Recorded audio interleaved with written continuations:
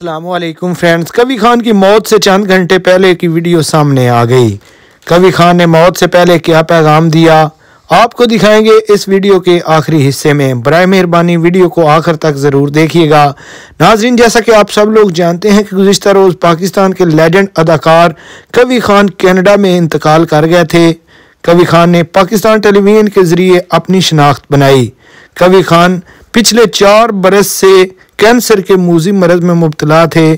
कवि Khan drama industry में हमेशा एक रो, रोल मॉडल के तौर पर स्क्रीन पर आते थे। नाजरीन कवि खान ने मौत से चंद दिन पहले क्या कहा था इस वीडियो में सुनिए। अच्छा लेकिन मैं आपको बता नहीं सकता कि मुझे किस कदर खुशी हुई है यहाँ ठहर कर। और एक तो स्टैंडर्ड इस होटल का बहुत अच्छा है बहुत ही अच्छा है। बल्कि मेरे